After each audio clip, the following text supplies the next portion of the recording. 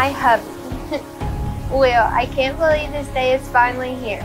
We have dreamed and talked about this for so long, and here it is.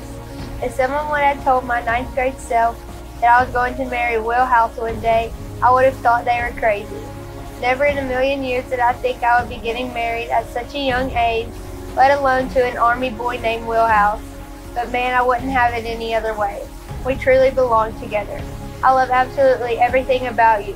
Your goofiness, your strive to always work hard, your caring heart, your looks, and so many more things. I even love when you leave your clothes and shoes laying around everywhere. It just means that you always have, it always means that you're home safe with me. I promise to always be there with you through thick and thin and to always support you no matter what. I always to be your number one fan. I'm so excited to start this journey with you. I know we have kind of gotten a head start, but that just shows me it's going to be 10 times better. I can't wait to have a family one day and grow old together. I couldn't imagine doing life without you, and I never want to. Here's to forever. I love you bunches. Car Car, I can't believe that we're actually getting married. Uh, isn't it crazy that you turned me down when you were a freshman and I was a senior in high school? I remember when we were talking on Snapchat at one point in time and we used to send those long messages to each other every night before we went to bed. And I promised you that I was going to marry you. And look at us now. I am so happy and blessed that you were so pure and honest with me 100% of the time. And I thank God for that every day. And God has blessed me with such a beautiful and talented woman. I'm so grateful for you. You've helped me grow as a person, but not just as a person, but my relationship with Christ. And I can and I adore you, and you're perfect to me in every way. Thank you for always making me feel uh, loved and staying on top of me and making me accountable for all my things.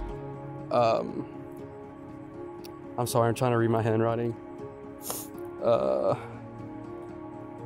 I love how uh, you are a girl who's just as goofy and weird as I am, and that we are truly meant to be together. I promise you that I will never lie to you, and I'll always be uh, faithful to you, and I will love you conditionally um, for the rest of my life. Um, and I was like, uh, that's all I got, and I love you to death.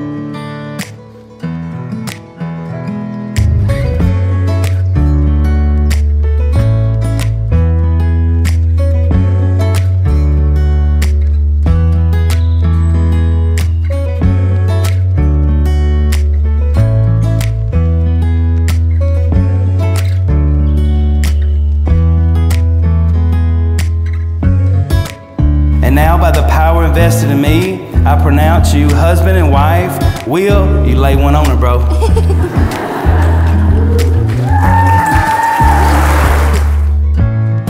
Ladies and gentlemen, friends and family, I present to you for the first time Mr. and Miss William Perry House III.